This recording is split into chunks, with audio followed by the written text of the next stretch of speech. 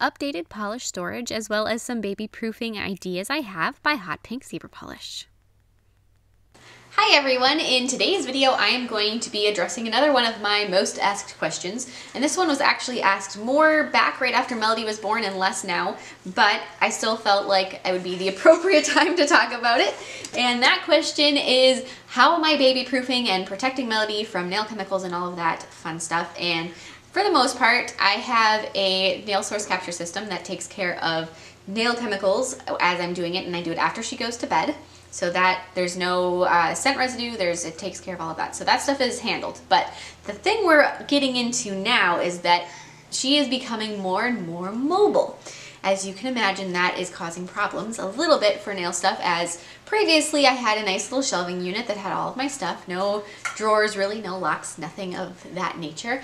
And that's going to be a problem coming up here soon.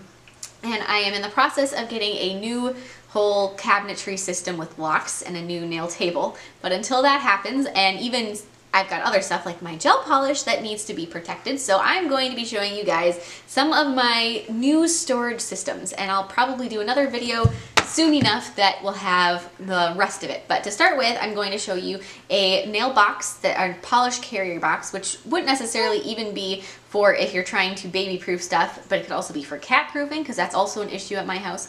And it could be for traveling or even just to keep things organized. So I'll be showing you guys that box and I'll be showing you guys my rolling cart that I also, that was actually a Christmas gift for me that is so helpful for this and also just keeping things together and keeping everything organized and easy to use. And so yeah, I hope this helps any of you out and answers some questions. And don't forget to comment if you have any other questions that you're curious about. I can definitely help you out as best I can.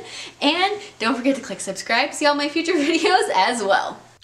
So to begin with, here is the organizer that I mentioned, and it holds up to 48 bottles, but I'm going to not put, not fill it up to the max. I actually just put in, for starters, I'm just going to put in my pinks and my my uh, pinks and purples.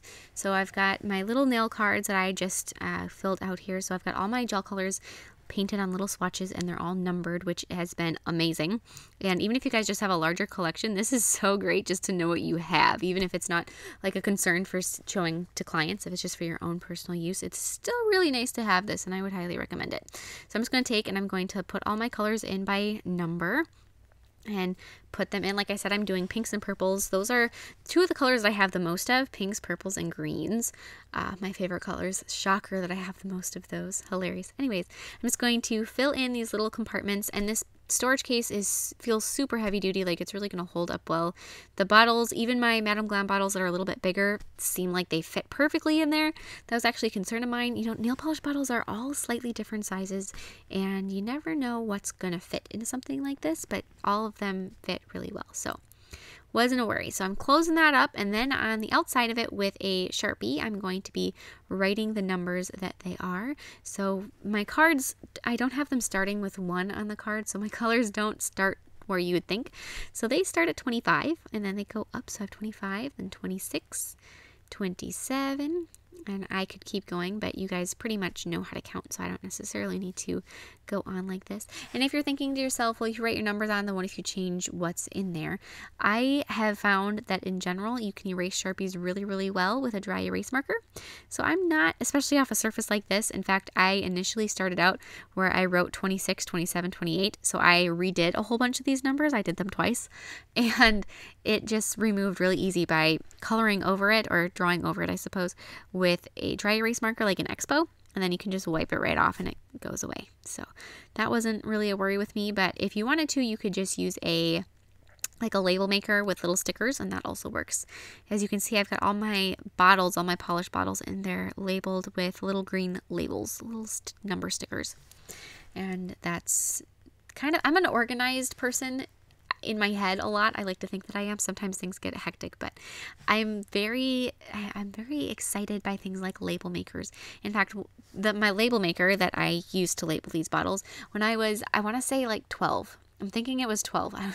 For Christmas, all I wanted was a label maker, which I know I'm a weirdo, but that was like this dream thing. I was like, I could label everything. And I labeled all of my dresser drawers and I labeled my like my backpack. I labeled Katie's backpack because that was just the kind of thing that I did. But here's my little rolling cart, and this is from Michaels. And um, I think they're marketed kind of towards teachers, but they work perfectly for nail supplies. So I've got different colors in the middle compartment. I've got like nail towels and manicure implements in the bottom with that little cover on them. And then in the top, I've got my my card of colors, my color swatches, as well as primer, dehydrator, bonder, uh, base coat, top coat, a couple different kinds of top coat, matte top coat, forms, cuticle oil, all of those little things that you need access to constantly are all in the top there. And this whole thing has been just such a help. And that cart, the plan is to roll that into a closet. So when I'm not using it, that can just go zoom right into a closet and we don't have to worry about it.